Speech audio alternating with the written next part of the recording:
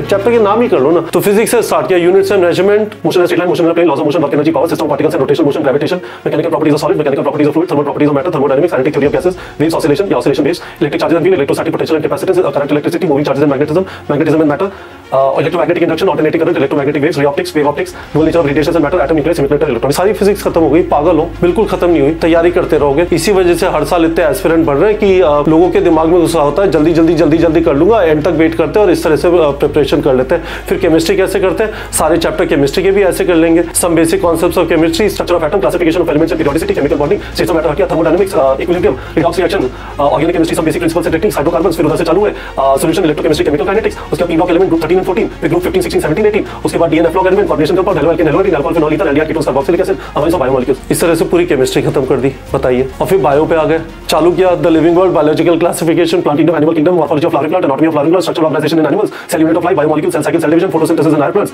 respiration plants plant growth and development breathing and exchange of gases body fluids and circulation excretive products and elimination locomotion and movement neuro control and coordination chemical coordination and integration sexual reproduction flowering plants human reproduction reproductive health principles of inheritance and variation molecular basis of inheritance evolution human health and disease microbes in human welfare biotechnology principles and processes biotechnology and its application organism and populations ecosystem biodiversity and conservation आपका सत्यानाश हो जाएगा। बहुत सारे लोग बस इस रफ्तार में होता है और एंड में उन्हें सुनने को मिलता है, एक महीने में सिलेबस कैसे खत्म करें, एक महीने में एम चली कैसे मिलेगा। ऐसे नहीं होता guys this is at best what you can do यदि आपके 200 250 300 नंबर आ रहे हैं। पूरी 2300 से 2500 घंटे की तैयारी है। इसमें मैंने वो काउंट नहीं किया है कि जब आपके क्वेश्चन गलत होते हैं तो आपको एक्स्ट्रा क्वेश्चन प्रैक्टिस करना है। मैंने ये इस हिसाब से किया है कि फिजिक्स केमिस्ट्री में 100 से 150 क्वेश्चन बायो में 150 से 200 क्वेश्चन और फ्लिप करके आप टाइम बचा सकते हैं। जैसा मैंने आपको बताया, जब क्वेश्चन बहुत ज़्यादा गलत हो रहे नॉर्मल पे आ जाइए। नहीं तो आपका ये वाला टाइम बचा।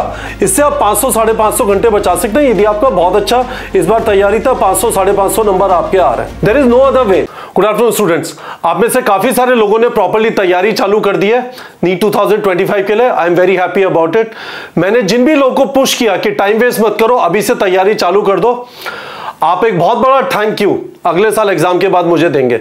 जिन लोगों ने अभी तक तैयारी चालू नहीं की है, जिनको पता है कि इस बार उनका गवर्नमेंट कॉलेज में नहीं होगा प्लीज़ टाइम वेस्ट मत करिए, तैयारी चालू कर दीजिए। ये वीडियो उन एस्पिरेंट्स के लिए जिन्होंने तैयारी चालू कर दी है, एक स्पेसिफिक सवाल जो उन्हें परेशान कर रहा है वो ये है, क्या कोई तरीका है जिससे मैं सिलेबस जल्दी फिनिश कर सकता हूँ without compromising on the quality of the preparation मैं इस वाले वीडियो में इसी चीज़ को कवर करना चाहूँगा। मैंने पहले आपको ये वाली चीज़ बताई है। ठीक है? मैंने आपको क्या बताया? टोटल नीट की तैयारी 2300 घंटे की है, जिसमें थ्योरी करीब 1230 घंटे की एमसीक्यू प्रैक्टिस जिसमें मैंने आपको बताया फिजिक्स केमिस्ट्री के हर चैप्टर में 100 से 150 क्वेश्चन बायो के हर चैप्टर में 150 से 200 एमसीक्यूज ये करीब 600 घंटे की और 25 आपने मॉक टेस्ट लिए 25 इंटू बीस पाँच घंटे के आसपास ही हो गया, है ना? 1230 574 500 2300 घंटे। अब सवाल ये है, कोई पूछता है कि सर एक चीज़ बताओ, एक स्टूडेंट है जिसके 200 नंबर आए हैं, एक स्टूडेंट है जिसके साढ़े पाँच सौ नंबर आए हैं। दोनों जनरल कैटेगरी से दोनों को गवर्नमेंट कॉलेज इस बार नहीं मिलेगा। है ना? नहीं मिलेगा। बहुत अच्छी बात है। क्या दोनों के लिए तैयारी 2300 घंटे की है?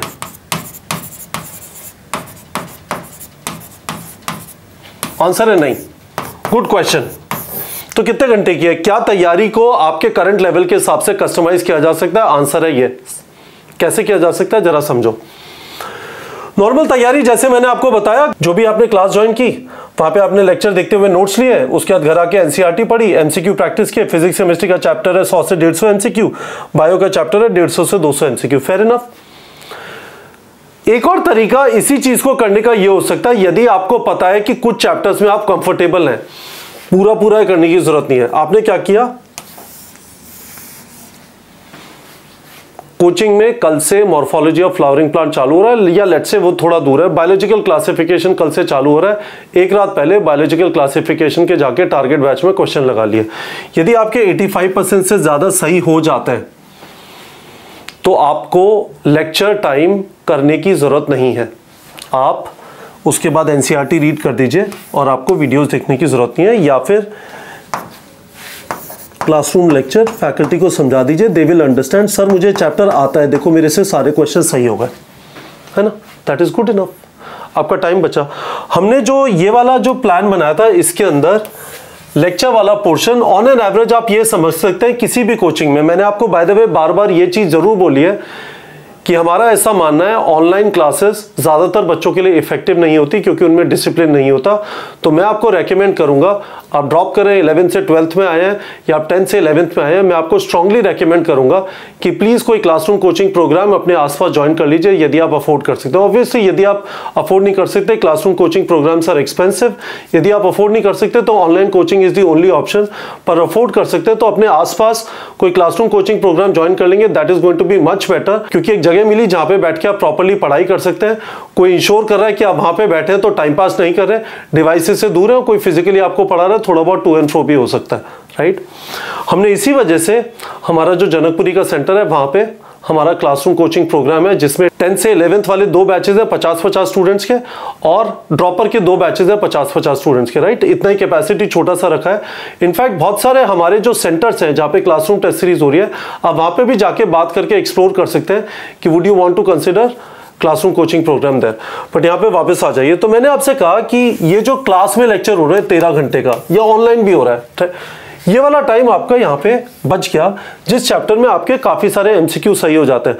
पर ऐसा हो सकता है आपको कोई चैप्टर आसान लगता हो। आपने उसके सबसे पहले एमसीक्यूज किए less than 85 percent in fact 40 percent question सही हुए राइट बायो का ही चैप्टर था लेट से आपने एनाटॉमी ऑफ़ फ्लावरिंग प्लांट्स के क्वेश्चन प्रैक्टिस किए, या आपने यूनिट्स एंड मेज़रमेंट के क्वेश्चन प्रैक्टिस किए, या आपने स्ट्रक्चर ऑफ़ एटम के क्वेश्चन प्रैक्टिस किए, और पता चला 40 परसेंट सही हुए। उस केस में क्या करना है? आपको अपने नॉर्मल तरीके पे आ जाना है। Step one step two step three क्या आपको समझ में आया? मैं क्या बोल रहा हूँ? वीडियो के कमेंट सेक्शन में मुझे बता दीजिए।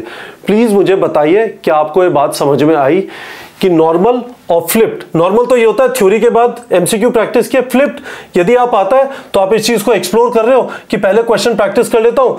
यदि पता चला कि क्वेश्चन नहीं हो पा रहे तो थ्योरी कर लूँगा। फेयर इनफ समझ में आया? बिल्कुल फेयर इनफ है, कोई इशू नहीं है। पर इसमें एक चीज़ का ध्यान रखिएगा। जो नालायक लोग होते हैं, वो ये करते हैं कि क्वेश्चन प्रैक्टिस करते हैं, सिर्फ़ क्वेश्चन करूँगा क्वेश्चन करूँगा क्वेश्चन करूँगा।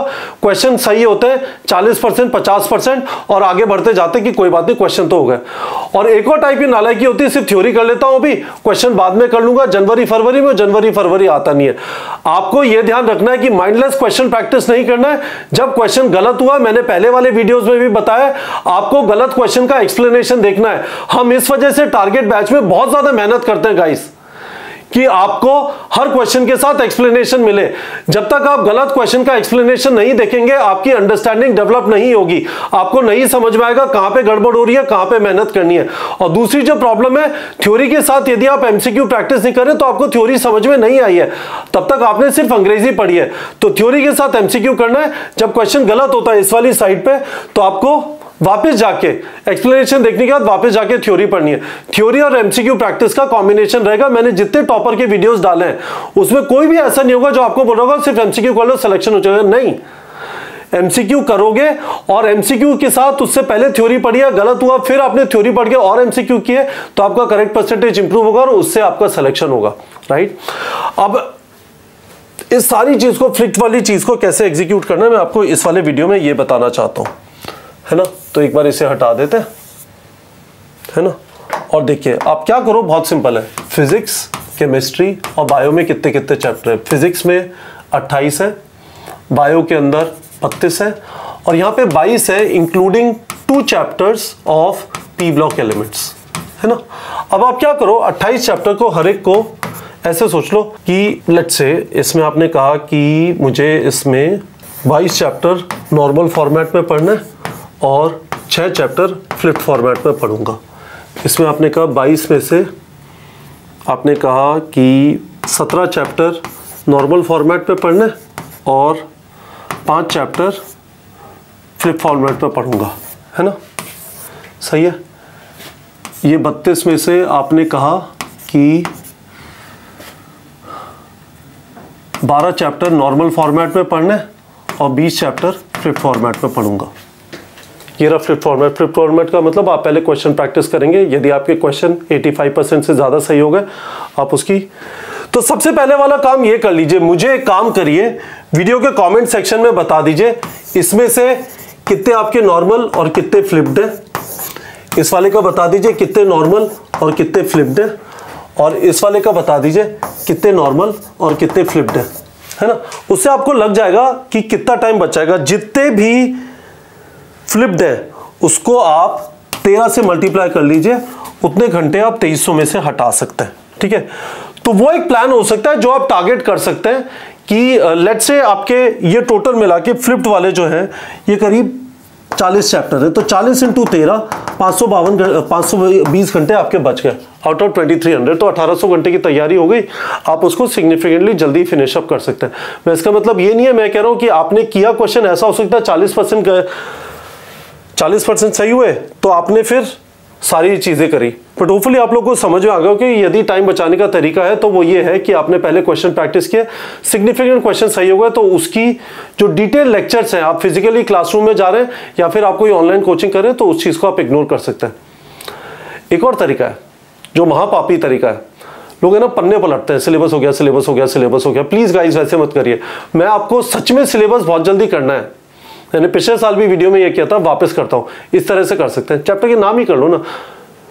तो फिजिक्स से स्टार्ट किया units and measurement motion straight line motion plane laws of motion work energy power system particles and rotation motion gravitation mechanical properties of solid mechanical properties of fluid thermal properties of matter thermodynamics kinetic theory of gases waves oscillation या oscillation based electric charges and field electrostatic potential and capacitance current electricity moving charges and magnetism magnetism and matter electromagnetic induction alternating current electromagnetic waves ray optics wave optics dual nature of radiation and matter atom nucleus electronics सारी physics खत्म हो गई पागल हो।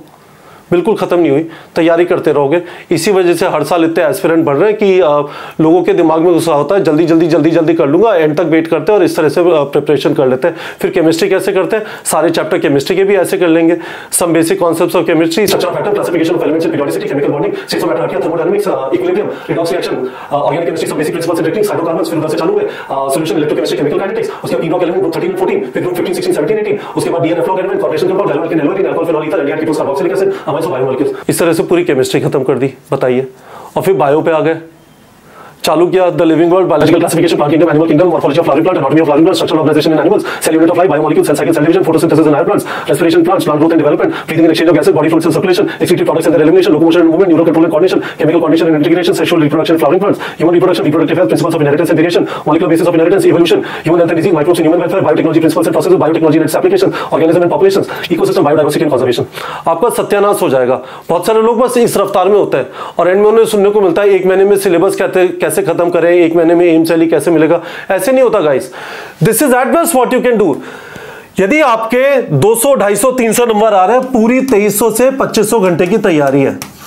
इसमें मैंने वो count नहीं किया है कि जब आपके क्वेश्चन गलत होते हैं तो आपको एक्स्ट्रा क्वेश्चन प्रैक्टिस करना है। मैंने ये इस हिसाब से किया है कि फिजिक्स केमिस्ट्री में 100 से 150 क्वेश्चन बायो में 150 से 200 क्वेश्चन और फ्लिप करके आप टाइम बचा सकते हैं। जैसा मैंने आपको बताया जब क्वेश्चन गल, बहुत ज़्यादा गलत हो रहे नॉर्मल पे आ जाइए नहीं तो आपका ये वाला टाइम बचा। इससे आप पाँच पाँच घंटे बचा सकते हैं। यदि आपका बहुत अच्छा इस बार तैयारी था पाँच पाँच नंबर आपके आ रहे हैं। ठीक है?